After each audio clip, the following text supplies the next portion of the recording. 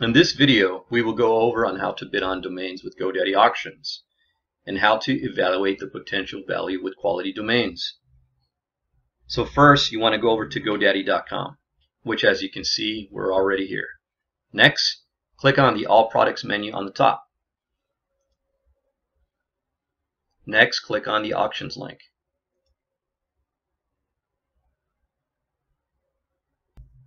This is the GoDaddy Auctions page.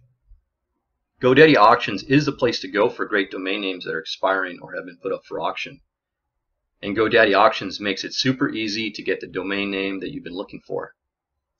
Please note that GoDaddy does charge a small annual membership fee to use the GoDaddy Auction Marketplace. Now that you have seen the GoDaddy Auction site, we are now going to look for GoDaddy Auction domains using the power of DomCop. So let's go over to the DomCop dashboard. Let us first set up a few filters to make search process a whole lot easier. To do that, let's click on the advanced filter located on the top right. We are now going to set up a few filters. Let's start off with entering in 10 for the domain authority and 15 for the page authority.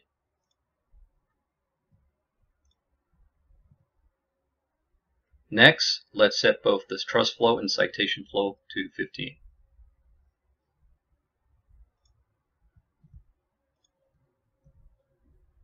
Next, under listing types, unselect all. And check off only auction and pending delete. Next, let's scroll down. And under domain source, unselect all and only select GoDaddy. Finally, click on the search button.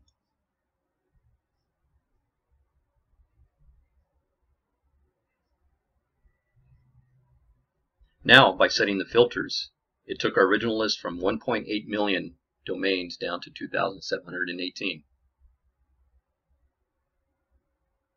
Now I like to sort by trust flow, so let's do that.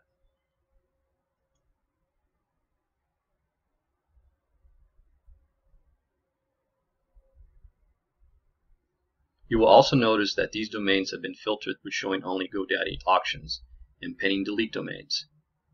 So let's take a look at the first domain. You will notice that this domain is expiring in approximately 3 days and 20 hours. To view the domain in auction, click on the domain link.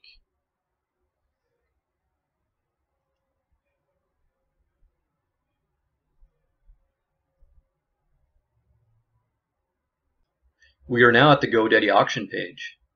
You will see some useful auction information such as the auction end date, the current bid price, the amount of bids and offers, etc. To place a bid, you must have a registered auction account with GoDaddy. To place the next highest bid, you would enter it up here. Next, you would click on the Continue to Review button at the bottom.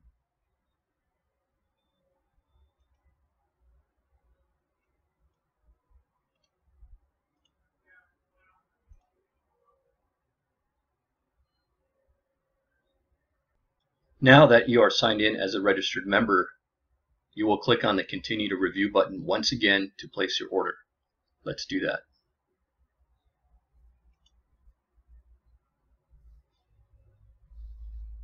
As you can see, here's your order information. When you're ready to order, tick off this button and click the Submit button. Important note, once you have placed the highest bid and the auction ends with no other bids above yours, you win the auction. If this was a public auction, the seller will transfer the domain to you. However, if this was an expiring domain auction, then the order will be completed in two weeks.